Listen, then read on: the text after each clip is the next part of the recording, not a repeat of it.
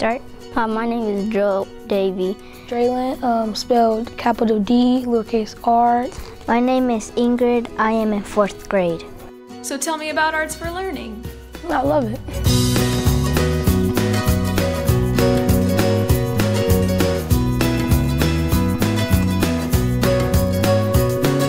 What is Arts for Learning? Well, it's hard to explain, but we offer arts education, arts integration. It's a perspective on learning that they're not necessarily going to get from English or math or science. You bring teachers and artists together to create a meaningful lesson for the students to engage in the concept that they are learning. They get a chance to work with their other classmates and do something that's learning, but it's like out of the box. We're trying to make it into a little bit of a triangle shape.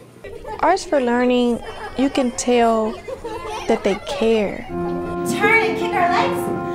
Beautiful now. We work with teaching artists. We have about 70 teaching artists on our roster and we work on bringing them into classrooms to connect their art form with the curriculum and engage students in ways that they may not normally be engaged. A certain aspect of creativity is being able to draw parallels between things that seem uh, disconnected.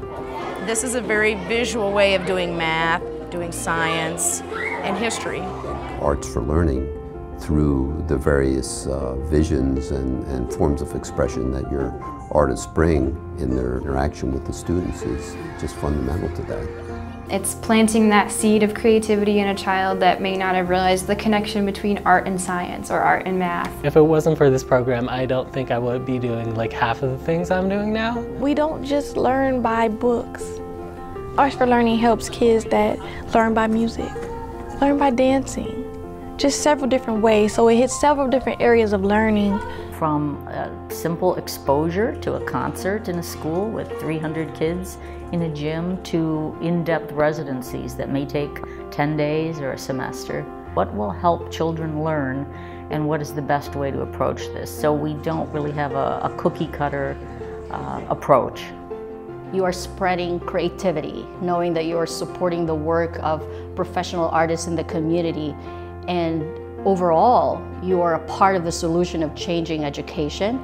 That is invigorating. We reach about 50,000 children. For every child we reach, there are so many that we're unable to reach. We are all lifted up and affected and enriched by the work that we do. We just want to keep reaching more and more children every year. We know there's a need and we want to be out there reaching them. I want to come back for as long as I can.